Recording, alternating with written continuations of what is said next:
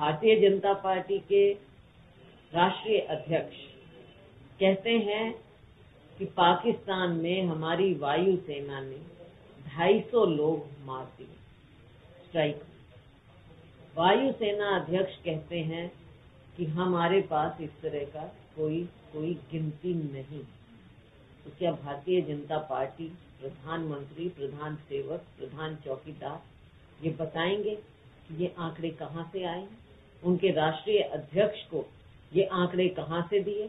किस कान में फूक मारी गई? कहाँ से ये इन्फॉर्मेशन आई?